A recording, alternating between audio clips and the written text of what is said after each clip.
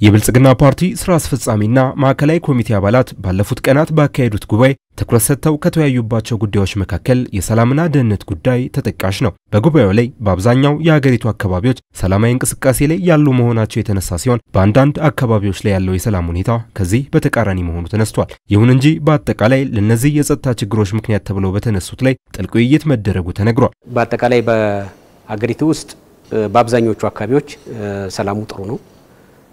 በአንዳንድ አካባቢዎች ደግሞ የሀገሪቱን የሰላም ሁኔታ ሊያናጋ የሚችል ሁኔታ አለ። ለምሳሌ በአማራ ክልል እንደዚሁም ደግሞ በኦሮሚያ በአንዳንድ በተወሰኑ አካባቢዎች የጸጥታ ችግሮች አሉ።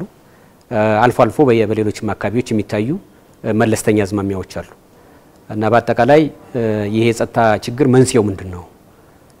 እንደገናም ደግሞ የሚገለጽበት ሁኔታስ እንዴት ነው የሚለውን ነገር በዝርዝር ለማየት ሞክረናል ማለት ነው። የፖለቲካ ስልጣን ከህዝብ ድምፅ እንደሚመነጭ በህገ መንግስቱ በግልጽ ተቀምጧል ያሉት ርዕሰ መስተዳድሩ ከዚህ በመለስ የግል ፍላጎትን በኃይል ህዝብ ላይ ለመጫን የሚደረግ ጥረት ተቀባይነት እንደሌለው ተናግሯል። በአጠቃላይ በከፍተኛ የሆነ ጉዳት እንደሚያስከትል ስለሚያውቅ በህዝብ ዘንድ ይሄ ጉዳይ ተቀባይነት የሌለው ነው። በእኛም ደረጃ እንደ መንግስት እንደ ፓርቲም ቢሆን ይሄ ጉዳይ ተቀባይነት የሌለው አድርገን ነው የምንወስደው።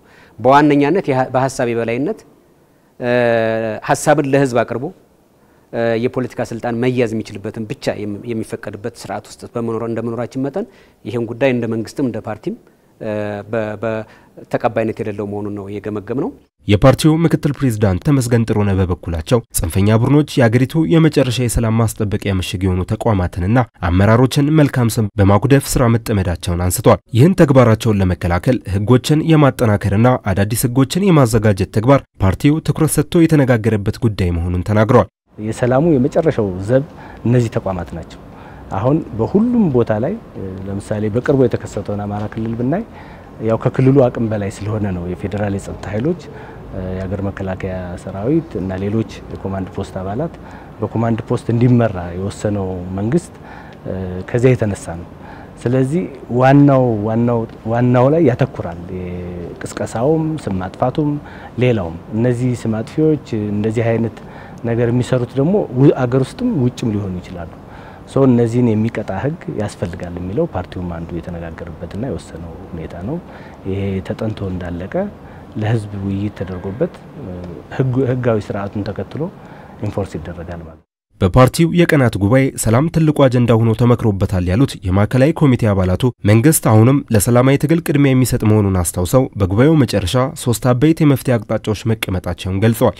በኢትዮጵያ ውስጥ ሰላምን ለማስፈን ዋነኛ የሰላሙ ባለቤት የሆነውን ህዝብ ማንቃትና ማደራጀት ያስፈልጋል።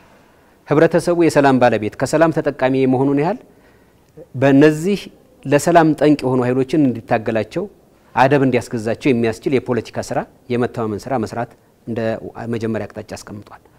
በሁለተኛ ደረጃ እነዚህን አካላት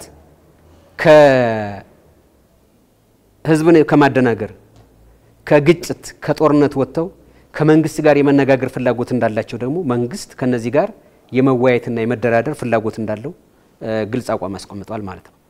ህዝብን አወያይቶ አደብ ካልገዙ የሰላም አማራጭን ካልተቀበሉ ደግሞ በመጡበት መንገድ በወታደራዊ አቅም ጭምር እነዚህን ኃይሎች የማዳከም ስራ እንዳቅጣጫ የያዝነው ነው። ህግ የማስከበር ተልዕኮ ስላለበት ማለት ነው። ሰላምንም እንደ አንድ ትልቅ አጀንዳ አድርገን ተወያይተን ህዝቡ ራሱ የሰላም አምባሳደር እንዲሆን ከመንግስት ጋር ተቀራርቦ እንዲሰራ ችግሮች እንኳ ቢኖሩ በውይይት በንግግር በድርድር መፈታት እንዳለባቸው ያው ከህዝብ የተሰወረ ነገር ስለሌለ ወደዚያ ነገር የሚሄዱ አካላትንም ወደዚህ እንዲመልስ ከህዝቡ ጋር ውይይት ይደረጋል። እየተደረገም ቆይቷል። አሁንም በቅርብም ይደረጋል።